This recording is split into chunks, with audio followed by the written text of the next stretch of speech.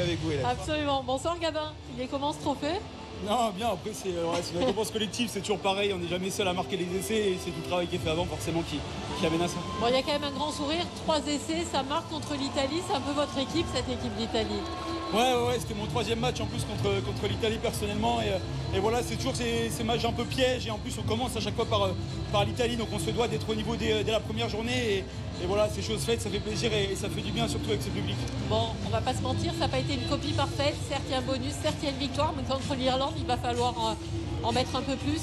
Ouais, ouais, toujours pareil, ça valide quand même deux semaines de travail et le score est là, le bonus est là. Donc euh, on va, on va pas cracher dessus et c'est très positif pour la suite. Et, et bien sûr qu'on va, va travailler sur tous tous ces petits défauts et, et toutes ces petites choses à, à travailler pour être, voilà, pour être fin prêt pour l'Irlande parce qu'on sait que ça va être un, un très gros match et, voilà, et qu'on peut jouer le, le Six Nations sur ce genre de match.